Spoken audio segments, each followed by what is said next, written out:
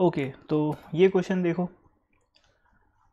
अब इसमें क्या है कि एक अपने को सर्कुलर डिस्क दिया हुआ है और एक जो है स्क्वायर प्लेट दिया हुआ है। सर्कुलर डिस्क की जो रेडियस है सर्कुलर डिस्क की रेडियस और सॉरी सर्कुलर डिस्क का जो डायमीटर है और स्क्वायर प्लेट की जो एज है, वो दोनों सेम है। दोनों डी और डी दिया हुआ है। साथ ही साथ ये दिया हुआ है कि दोनों का जो मास पर यूनिट एरिया है, वो सेम है। अब मास पर यूनिट एरिया सेम होने का ये मतलब हुआ कि जो मासेस का रेशियो होगा, वो एरिया के रेशियो के बराबर आएगा। ठीक है? तो सपोज़ करो मैं इस डिस्क का मास को मान लेता हूँ m1 और इस स्क्वायर प्लेट की मास को मैं मान लेता हूँ m2 बात करते हैं m1 की। तो m1 की वैल्यू कितनी आएगी? M1 will be equal to what area मैं एक काम करता हूँ, मैं दोनों की डेंसिटी को सिग्मा और सिग्मा मान लेता हूँ, है ना?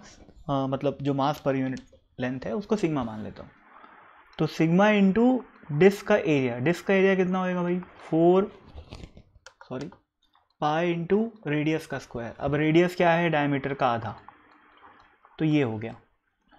अगर मैं बात करूँ एम टू यानी कि स्क्वायर प्लेट के मास की तो density areal mass density into area area कितना हो जाएगा? डी इंटू डी दोनों साइड का स्क्वायर होता है। है ना?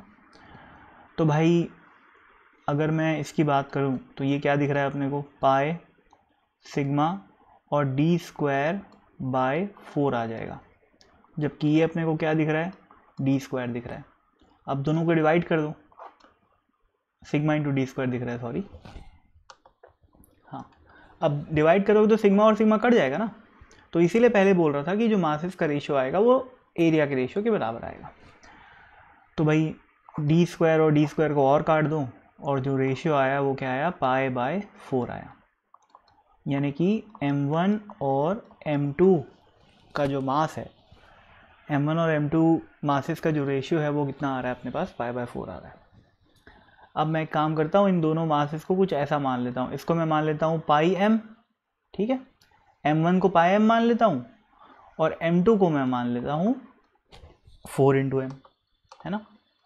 उससे क्या होएगा कि रेशो मेंटेन हो गया। अब एम कुछ भी कांस्टेंट है, अपने को उससे मतलब नहीं तो ले दे के m1 की वैल्यू आ गई पाई एम और एम टू की वैल्यू आ गई फोर एम अब क्या? अब ये जो डिस्क है, उसका सेंटर ऑफ़ मास यहाँ पर है और यहाँ पर क्या रखा हुआ है अपन? अब जैसे ही इसके सेंटर ऑफ़ मास में पूरे मास को अपन रख दिए, अब इस डिस्क को भूल जाएँगे अपन लोग। भूल गए? है ना? और यहाँ पर क्या रखा हुआ है? यहाँ पर ये पूरा क्यूब रखा पूरा स्क्वायर रखा हुआ है और उसका मास कितना है? M2 है। दोनों के डिस्टेंस की अगर मैं बात करूँ तो भाई ये कितना है? डी बाई टू और ये भी कितना है? डी बाई टू यानी कि दोनों बीच, दोनों के बीच की दूरी कितनी हो गई? डी बाई टू अब एक काम करता हूँ, मैं किसी एक को ओरिजिन मान लेता हूँ। अब मेरे को हालाँकि पता नहीं है आंसर किस फॉर्मेट में दिया हुआ है। एक बार मैं देख लेता हूँ आंसर किस फॉर्मेट में दिया हुआ है। सेंटर ऑफ़ द डिस्क से दिया हुआ है, ठीक है। तो मैं काम करता हूँ डिस्क के सेंटर को ओरिजिन मान लेता हूँ। तो ये बना लिए एक्सिस ऐसी वाई एक्सिस और ये एक्स एक्सिस। हालाँकि वाई एक्सिस का कोई काम है नहीं है ना? क्योंकि ये टू पार्टिकल सिस्टम दिख रहा है और ये टू पार्टिकल सिस्टम दोनों एक्स एक्सिस में है है ना? तो वाई एक्सिस का कोई चक्कर है नहीं। अब भैया इस इस इस इस आ, प्लेट को दोनों प्लेटों को भूल जाओ। स्क्वायर प्लेट हो चाहे रेक्टेंगल स्क्वायर प्लेट हो, चाहे सर्कुलर प्लेट हो, दोनों को भूल जाओ। सिंपली टू पार्टिकल सिस्टम तो अब मैं सेंटर ऑफ़ मास निकालूँगा अगर। तो इसका एक्स कोऑर्डिनेट कितना है? ज़ीरो वाई कोऑर्डिनेट कितना है? ज़ीरो इसका एक्स कोऑर्डिनेट क्या हो गया? डी और वाई कोऑर्डिनेट क्या हो गया? ज़ीरो तो X coordinate of centre of mass will be equal to M one और एम वन की वैल्यू कितनी है? Pi into M into X coordinate जो कि ज़ीरो है।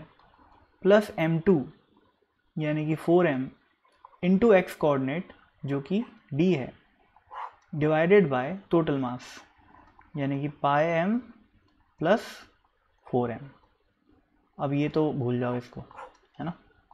क्या बचा ऊपर? फोर एम डी और नीचे देखो एम को मैं कॉमन निकाल सकता हूँ, और पाए प्लस फोर बच जाएगा। अब इस एम को और इस एम को काट दो, क्या बचा? Four D by pi plus four.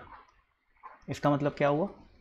कि जो एक्स कोऑर्डिनेट आया with respect to what with respect to this point with respect to origin वो कितना आया? ये आया। है ना? इसका मतलब जो अपना सेंटर ऑफ़ मास है, वो कहीं यहाँ पर होगा। है ना? और वैसे सही बताऊँ तो ये जो पॉइंट है ना, वो देखो, इन दोनों का जो सेंटर है, वो कहाँ है? इन दोनों का सेंटर है यहाँ पर। लेकिन भारी वाला पार्ट कौन सा है? ऑब्वियसली स्क्वायर वाला। क्यों? क्योंकि स्क्वायर का एरिया साफ़ साफ़ ज़्यादा दिख रहा है मेरे को। तो सेंटर से कुछ राइट right साइड में होगा सेंटर ऑफ़ मास यहाँ पर।